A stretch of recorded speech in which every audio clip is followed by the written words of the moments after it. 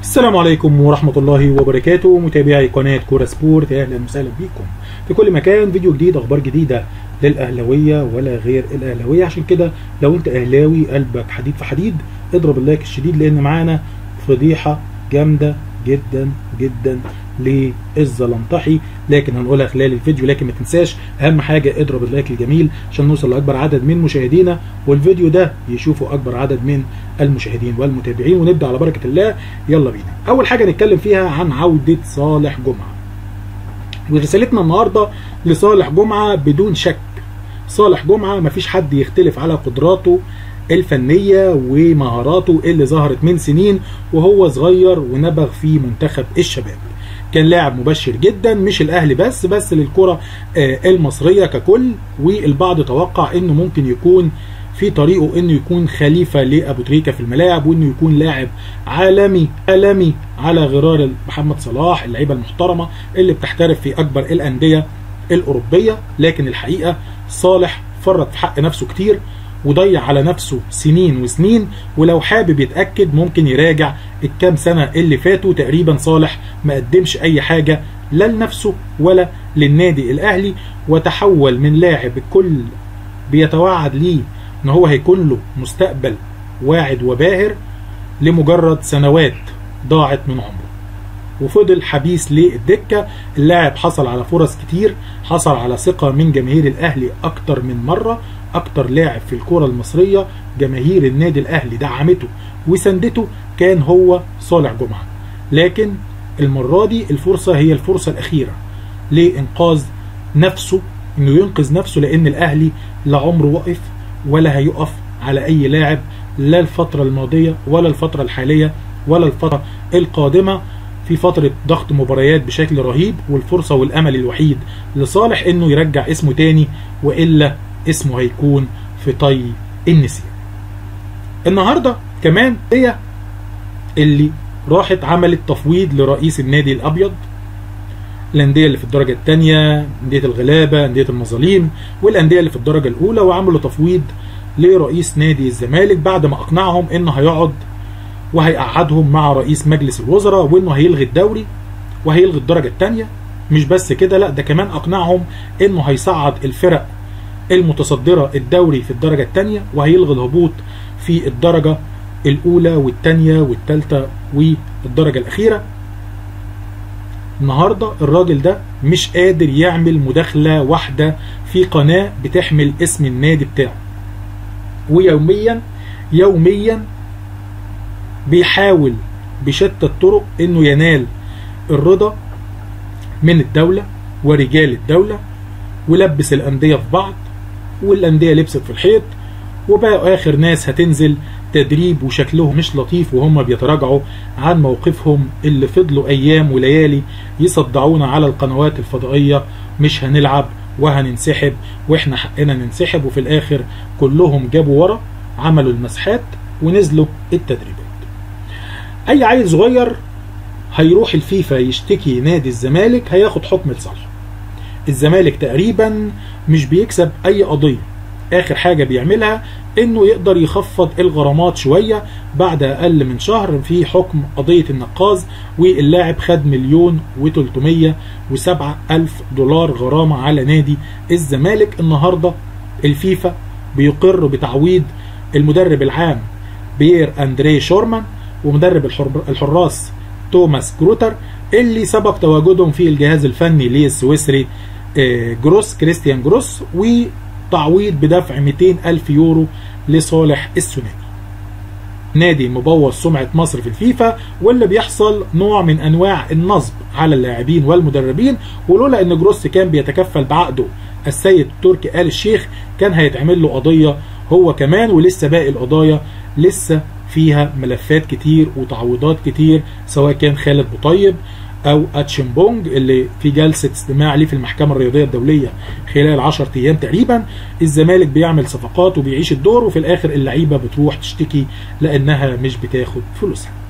تعال نخش في ملف مهم جدا جدا وهو الكل بيسأل هو إيه سبب غياب الراجل الزلنطحي؟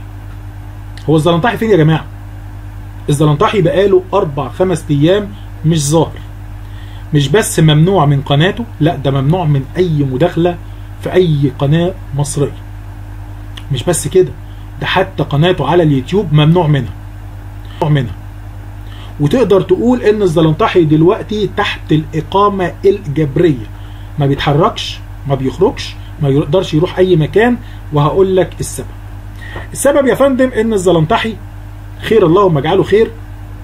عمل مداخلة من حوالي 10 أيام يوم 17 يونيو. المداخلة دي كانت مع أحمد موسى في برنامج على مسؤوليتي وشتم فيها مسؤول كبير في بلاد بره. المسؤول الكبير هو بوريس جونسون رئيس وزراء بريطانيا المملكة المتحدة. شتمه وقال جونسون المجنون. المسؤول رئيس وزراء بريطانيا بوريس جونسون وصلوا الفيديو ولاد الحلال وصلوا له الفيديو وطلب ال translation الترجمة بتاعت الفيديو فيديو وطلب تأكيد على الشتيمة دي وراح الراجل موصل الأمر لأعلى المستويات وسأل السفير البريطاني في مصر الكلام ده فعلا حصل؟ قال له أيوة يا فندم حصل. وقال جونسون المجنون. crazy جونسون. رئيس وزراء بريطانيا بيعتبر اللي حصل ده جريمة دولية. وبعت للحكومة المعنية في مصر طلب رسمي بوقف الشتايم والشتامين واتعملت مذكرة توقيف من النوع الفاخر المفتخر وعنها وعينك ما تشوف إلا النور. المحاولات شغالة مع بوريس جونسون بقالها خمس أيام تقريبا. معلش يا خواجة حقك علينا يا خواجة. ده عنده عيال يا خواجة. الخواجة قال لك ابدا عايز حقي. ولازم وحتما يعتذر ويتغرم ويتأدب والله أعلم. أنا بقول لك على معلومة. ممكن يكون في ناس تانية قالتها قبل كده بس معلومة مؤكدة. بعد الزلنطحي ما غلط في بوريس جونسون رئيس وزراء بريطانيا الدنيا مقلوبة على دماغ الزلنطحي عشان كده تقدر تقول إن الزلنطحي اليومين دول تحت الإقامة الجبرية. طيب تعال نخش على حتة تانية. في حد اسمه جهاد كان بيطلع خلال سنة اللي فاتت كان بيطلع كل فترة في فيديوهات في لايفات يشتم كابتن محمود الخطيب يتطاول ويتجاوز في كابتن محمود الخطيب على حس إن مستثمر عربي كان بيقول له وبيقول له على حكاوي وحكايات وقصص وكان بيقول إثباتات بالفيديو والصوت والصورة وقت ما تعوزهم أنا هبعتهم لك. فكان الراجل جهاد بيطلع يشتم في الخطيب ومجلس إدارة النادي الأهلي ورجع الساعات يا خطيب وأنت خدت فلوس يا خطيب وخدت فيلا يا خطيب وخدت وخدت يا خطيب. المهم الأستاذ جهاد طلب من المستثمر العربي قال له أنا دلوقتي اترفع عليا قضية بسبب الاتهامات اللي أنا بقولها في حق الخطيب وفي حق مجلس إدارة النادي الأهلي. فبعد إذنك ابعت لي بقى الأدلة عشان أقدمها في المحكمة بالصوت والصورة عشان الناس تعرف إن أنا عندي حق. انت من حقك تتهم اي حد بالمناسبة يعني عشان تكون عارف يعني.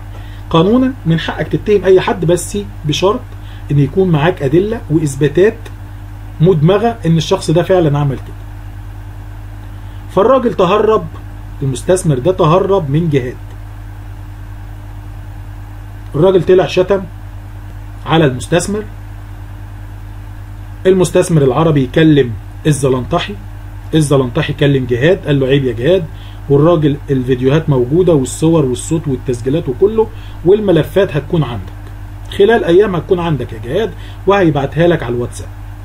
عدت أيام وعدى شهر وما اتبعتش أي ملفات ولا مستندات تدين كابتن محمود الخطيب أو مجلس إدارته. الراجل طلع في فيديو النهارده يشتم على المستثمر العربي ويشتم على الزلنطحي اللي كان واسطة الخير ما بين جهاد وما بين الزلنطحي وما بين المستثمر العربي سبحان الله. اللهم اضرب الظالمين بالظالمين وأخرجنا منهم سالمين غانمين. خلصت أخبارنا خلصت حكايتنا.